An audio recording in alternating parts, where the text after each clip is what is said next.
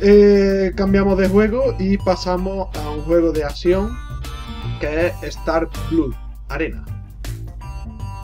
Ah, vale, pinta eh, bastante, bastante chulo. ¿eh? Es de PlayStation VR y Sale- llega el 12 de abril. Sale el 12 de abril también. Pues creo que sí son de Bandai, ¿eh? Los Sí, Transformers. me suena ¿Sí? que sí, porque ¿Lo la has versión, buscado? Sí, son de Bandai. la versión de dibujo me sonaba a mí de Bandai. Sí, era- Loquitos para los videojuegos. Pues bueno, eh, vamos a ver cómo lo defino. Es, digamos, un shooter competitivo, pero vamos con naves eh, moviéndonos en tres dimensiones. Sí, una especie de. mm, ¿Cómo era este de los, del combate de robots? Que era que le gustaba a Lirra. Si el, el que se canceló de Nintendo, el Project Robot, que No, salía el no. Reggie ahí vestido con, de con ca- de cartón. No, no, por Dios, no era tan de migrante. Era uno que anunciaron también para la VR. De los primeros que se anunciaron que era como un deporte, Sí. que era un depo- era como un Ah, rugby de sí, sí, robots. Sí, sí, Sí. sí. Es que no me acuerdo cómo Sí, se llamaba. sí, no me acuerdo. ¿Rai pero- podía ser? No. No, Reina en español este, que es verdad, como... Sí, pero era algo así, era Rims, Rims, o Risco o algo así. Era. No sé, era. Era algo así. Y pues sí, tiene pinta de ser algo así, pero mola porque mm, es, muy inmersivo porque vas con la un puto VR, ¿sabes? Y pantalla de tiene, sí, no, no, tiene muy buena pinta. Eso es un, es un shooter, pero es de nave y entonces pues, Mm. te puedes mover no solo hacia los lados, sino también arriba, abajo. Es, es la batalla de Star Wars. Mm. Es una batalla de Star Wars de, de naves. Y, y claro, ya sea en VR, pues tiene muy, muy buena pinta.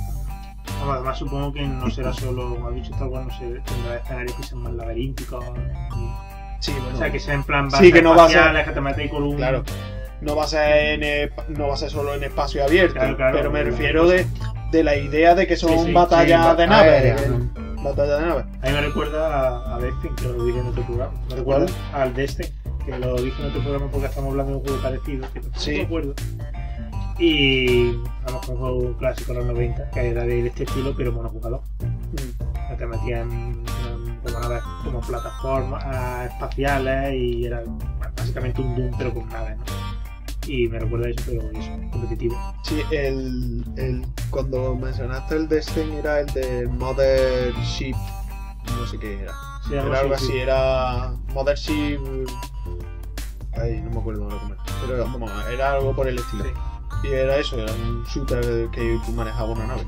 Eh, sí, pero este eso, al ser VR, pues a lo Eh, mejor lo le, chulo, claro. Claro. le da le da un está bien hecho, tiene que, Sí, ser- a, tiene a que mí, molar. a mí me, esto me ha llamado realmente la atención. Este es uno de los que me ha dicho, joder, me gustaría este PSVR VR.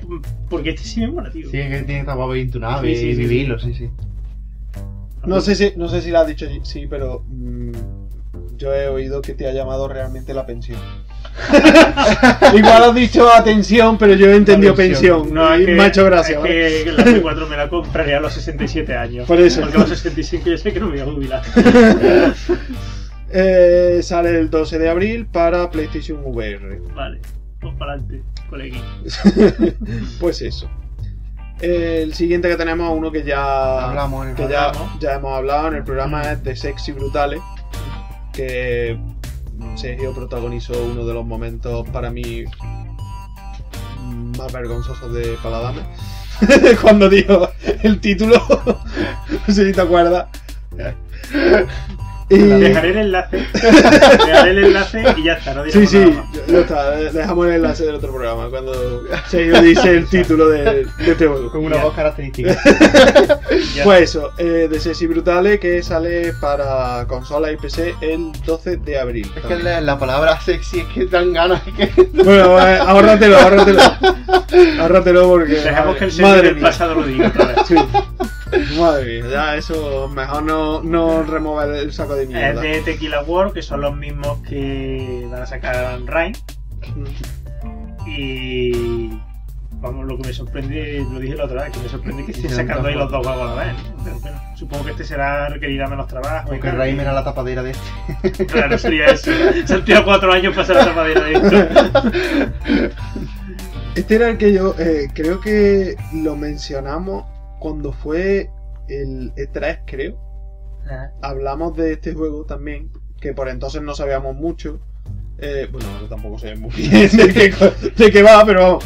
Y era este que te decía que, que tenías que resolver un asesinato, pero Sí. eh, si fallaba, Se tenías que, el tiempo. claro, tenías que volver atrás para intentar salvarlo Si a este es el que no sabía yo si, era- si había solo un final o si lo que quiero decir, no, es- no sé si es el típico juego en el que tienes que ir aprendiéndote todos los patrones para hacer el final perfecto o Mm. si simplemente hay distintos finales según lo que hagas en ese día y ya está. Sí. Mira, según dice aquí, salvando a cada uno de los nueve invitados, obtiene el poder oculto de la máscara, con lo que puede explorar con más profundidad y descubrir secretos de sexy Sí. brutal.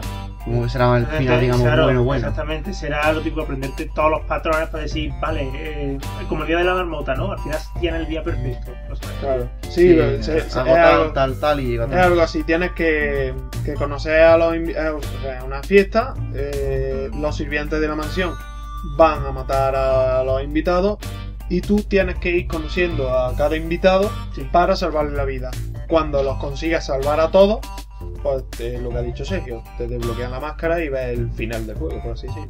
Si a mí me pasa lo del día de la marmota, o iba a matar de. Y yo- Da igual, si, si al día siguiente estáis bien, tío, pero iba a ser gracioso. Ya, pues, Si es que al final te pues, y, pues, y las risas que nos íbamos a Y echar. risas, y las tío. risas. Lo graba en vídeo. No, porque al día siguiente desaparece el vídeo. No, pero eso, eso pasa en el día de la marmota y, y, a- y me llamó la atención cuando lo vi. Si estuvieseis en el día de la marmota, os suicidaríais. Si el tío se suicidaba, se intentaba suicidar. Pero os suicidaríais. Yo creo O- que si, si aunque el tío está la polla ya al final, yo no, no, no, sí. pero no al final. Aunque sepáis que no vais a. O sea, sabéis que, que se va a reiniciar el día. Ah, Simplemente por saber que se sentiría al morir.